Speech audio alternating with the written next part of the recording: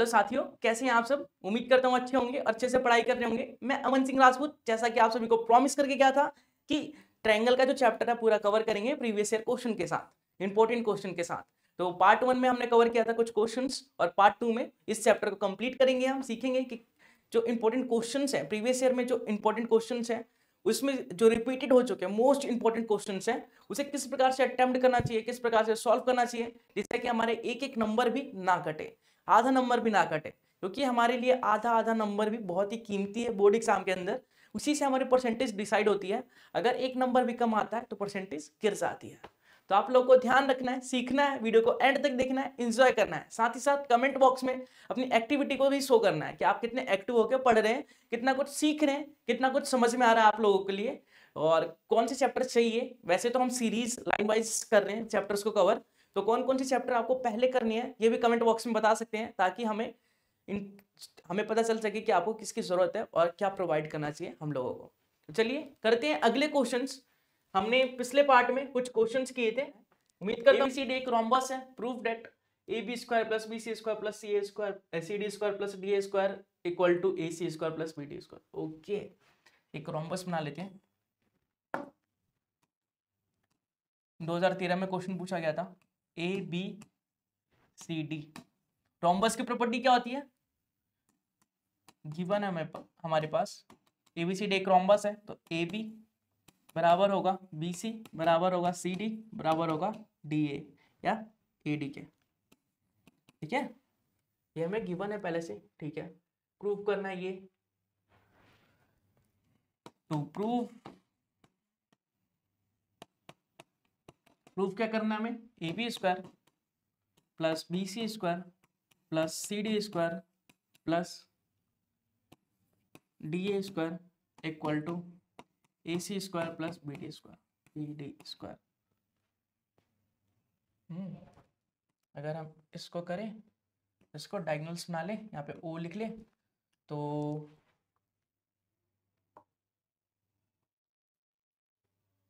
हमें पता है डायगनल्स जो होते हैं परपेंडिकुलर होते हैं। समधि बातचीत करते हैं तो ए ओ इक्वल टू सी ओ हो जाएगा। दूसरा B O equal to D O हो जाएगा। ओके अगर देखिए, इस वाले ट्रायंगल की बात करें, इस वाले ट्रायंगल की तो ये 90 डिग्री का है, ये हाइपोटनेस है एच है, ये पी है, ये बी है। तो मतलब क्या? कि इन ट्रायंगल ए ओ बी में करें हाइपोटनेस ओके तो हमें मिलेगा A B square equal to A O square plus B O square हमें ये भी पता है कि जो ए ओ स्क्वायर है ए ओ है ए ओ की वैल्यू है वो, ये दोनों एओ और सी ओ तो बराबर है। मतलब कि हम लिख सकते हैं कि A C upon two AO को लिख सकते हैं हम ए सी अपॉन टू और ये स्क्वायर था तो स्क्वायर BO को लिख सकते हैं B D upon two B D upon two square था तो स्क्वायर स्क्वायर करेंगे तो A B square equal to A C square upon four two का स्क्वायर फोर होता है। B D square upon four LCM four आएगा तो यह आ जाएगा ए बी स्क्वायर यह आ जाएगा A C square plus V D square upon four cross multiply करेंगे तो यह आ जाएगा four A B square equal to A C square plus B D square ठीक है? आगे लिखते हैं इसे। फोर फोर क्या था? A B square A B square equal to A C square plus B D square हमें पता है कि फोर ए बी स्क्वायर को हम लिख सकते हैं। A B square plus A B square plus A B square plus A B square चार बार लिख सकते हैं A B square A B square A B square A B square और इक्वल टू में क्या A C square plus B D square ठीक है, हमें पता है कि ए बी इक्वल टू है बी सी के इक्वल टू है सी डी के इक्वल टू है ए डी के. तो इसको यूज़ करके स्क्वायर भी इक्वल टू होंगे. ए बी ए बी को लिख दिया हमने B C B C A B को लिख दिया हमने सी डी और ए डी ए बी को लिख दिया हमने डी ए या A D A C square plus B D square क्या प्रूफ करना था हमें? हमें प्रूफ करना था कि जो A B B C C D D A जो है ए डी और बी डी के बराबर है, यही हमने प्रूफ कर दिया, बहुत ही सिंपल वे में एंड प्रूव्ड ऐसे हम लिख सकते हैं। उम्मीद करता हूँ, समझ में आ गया होगा। बहुत ही सिंपल क्वेश्चन था, लेकिन बहुत ही इंपॉर्टेंट था। चार नंबर में आ सकता है या तीन नंबर में आ सकता है। तो आप लोगों को ज़रूर से आना चाहिए। ट्रेंगल के ऐसे क्वेश्चन काफ़ी बार पूछे जाते हैं तो आपको आने ही चाहिए। देखिए, अगला क्वेश्चन है। अगले क्वेश्चन में बोला गया है कि in a rectangle ABCD ABCD एक रेक्टेंगल है। E is the mid point of AD ABCD एक रेक्टेंगल है। A B C D rectangle है। ए बी सी और डी जो है रेक्टेंगल है, ठीक है? E is the mid point of AD AD का मिड पॉइंट क्या है? ई e है। ओके मिड पॉइंट है मतलब कि ए ई इक्वल टू होगा डी ई के। मतलब हम लिख सकते हैं ए डी सॉरी हम लिख सकते हैं A E equal to A D upon two ठीक है? हमें पता है कि जो ए डी है, चालीस है। ए डी ये पूरा चालीस है। तो क्योंकि ये मिड पॉइंट है तो ए ही कितना आ जाएगा? चालीस बटे दो, बीस आ जाएगा। और इसको मिला देते हैं बी को। ठीक है ए बी कितना फोर्टी एट क्योंकि हमें पता है कि, क्या पता है? रेक्टेंगल की जो चारों साइड्स होते हैं, वो 90 डिग्री पे एंगल पे मिलते हैं मीट करते हैं। 90 डिग्री के एंगल बनाते हैं। ठीक है? दोनों साइड्स मिलते हैं, दोनों कॉर्नर मिलते हैं तो 90 डिग्री का एंगल बनता है। तो यहाँ पे 90 डिग्री का एंगल बन रहा है मतलब ऐसा कोई ट्रैंगल बन रहा है हमारे पास। ऐसा एक ट्रैंगल बन रहा है 90 डिग्री का एंगल ये है ए ये है ई e और ये है बी ठीक है? ये हमारे 48 है और ये हमारा 20 है। तो ये निकालना है। पाइथागोरस यूज़ करते हैं। तो पाइथागोरस के अकॉर्डिंग क्या होगा B square plus B square equal to H square perpendicular का स्क्वायर मतलब 48 का स्क्वायर करेंगे। प्लस बेस का स्क्वायर करेंगे इक्वल टू एच स्क्वायर करेंगे। 48 का स्क्वायर करेंगे तो क्या आएगा? देखिए 48 एट इंटू फोर्टी आठ अठाई चौंसठ, छ, आठ चौक बत्तीस बत्तीस और चार, बत्तीस और छः कितने होते हैं? अड़तीस। आठ चौक बत्तीस, चार चौक सोलह और तीन, उन्नीस। चार ज़ीरो, आठ दो दस का ज़ीरो, नौ और तीन कितने होते हैं? बारह होते हैं। बारह एक तेरह, ये हो जाएगा तेईस चार सौ। ये हो गया तेईस तेईस हज़ार चार सौ। सॉरी दो हज़ार तीन सौ चार।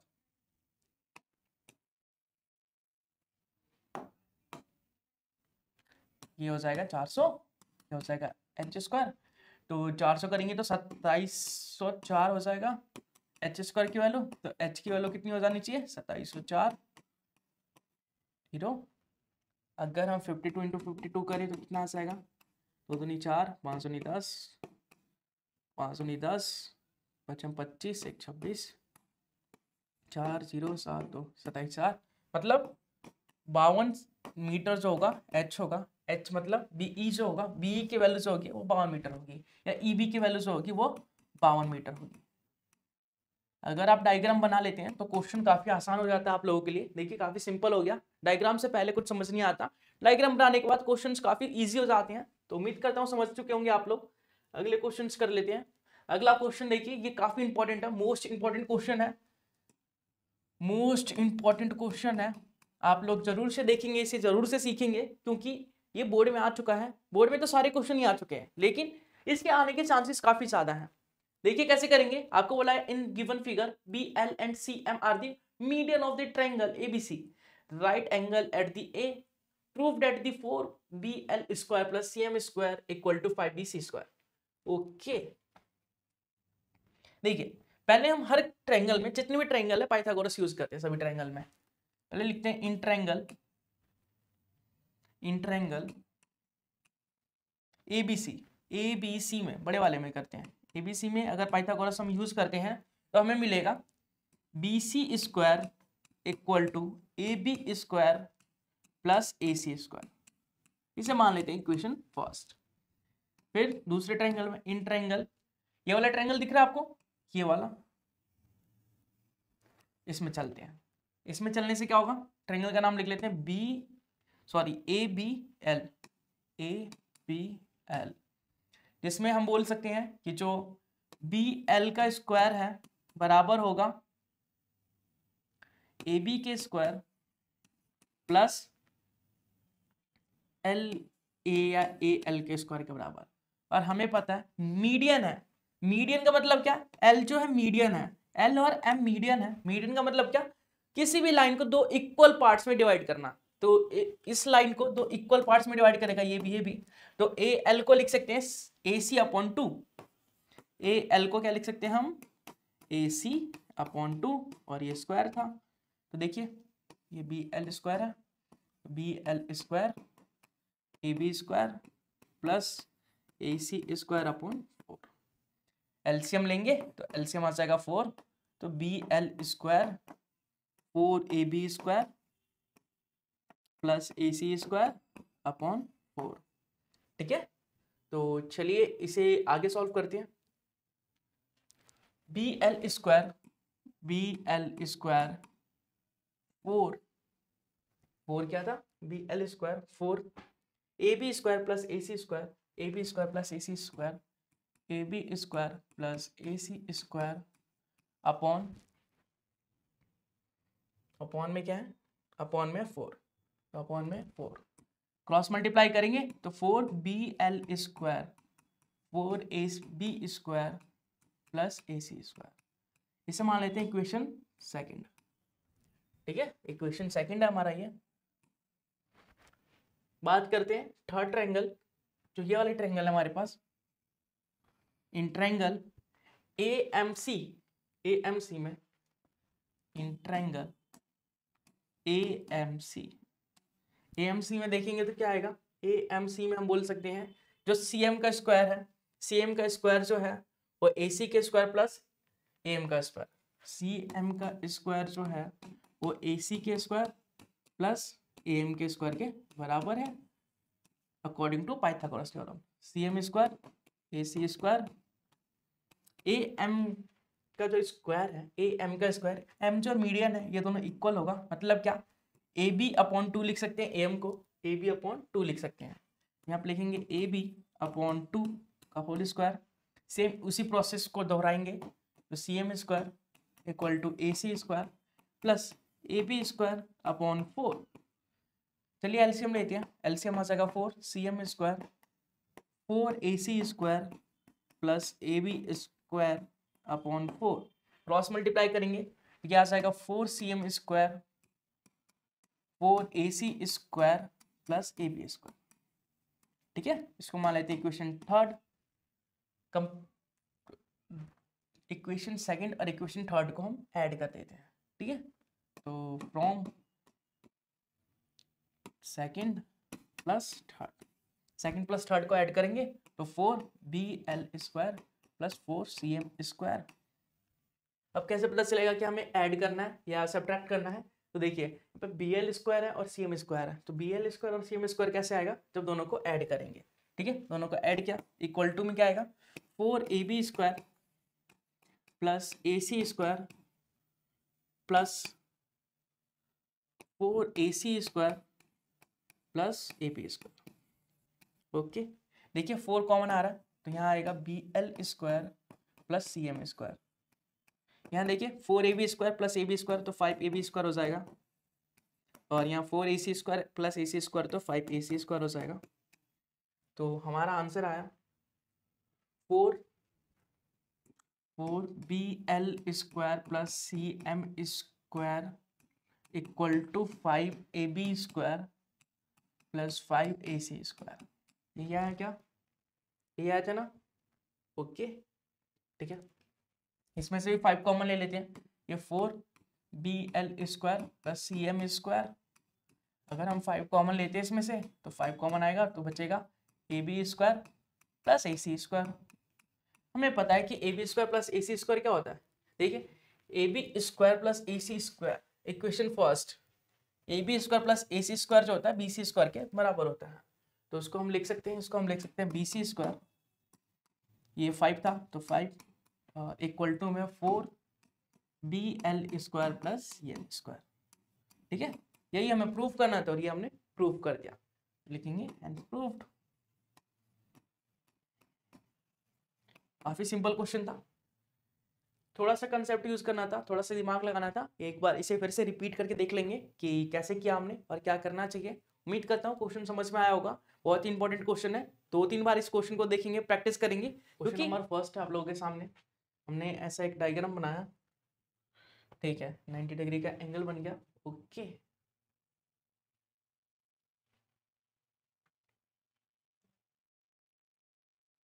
हम्म, हम्म, अब क्या कर सकते हैं? पी ए स्क्वायर कैसे आएगा? P A square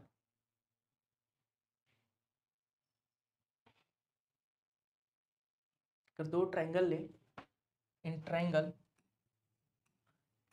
A B C और दूसरा ट्रायंगल सिमिलर होगा। ए बी पी के। पी ए पी ए तो आ ही नहीं सकता।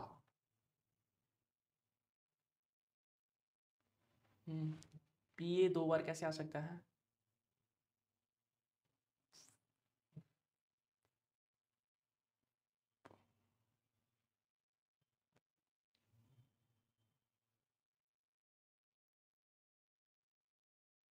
देखिए, दो ट्रायंगल हमारे पास छोटे छोटे छोटे वाले ट्रायंगल से ही हो सकता है, बड़े वाले का कोई फ़ायदा नहीं है। छोटे वाले ट्रायंगल को देखते हैं। ए बी पी और A C P triangle A B P और triangle A C P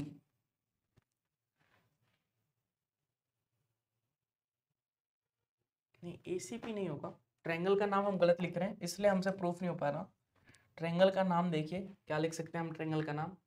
A B P A B P या फिर इस ट्रायंगल को अगर ऐसे बनाए तो?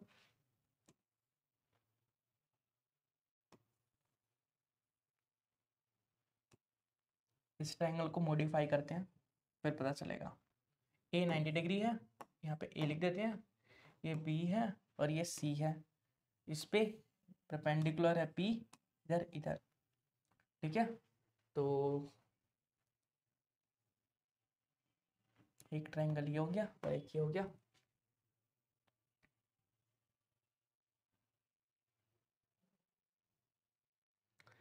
हम बोले अगर कि A P B A P B triangle A P B similar होगा ट्रायंगल ये वाला triangle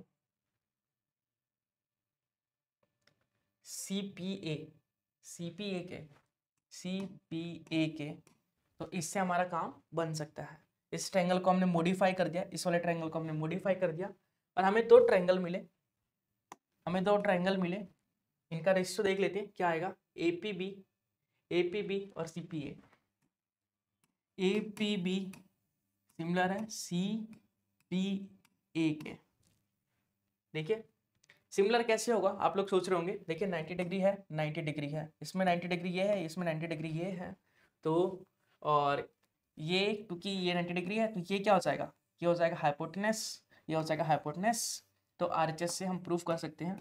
एक 90 डिग्री है, एक हाइपोटनेस हाइपोटनेस बराबर है तो हम प्रूव कर सकते हैं आरएचएस से। ठीक है, सिमिलर प्रूव कर सकते हैं। रेशो देख लेते हैं।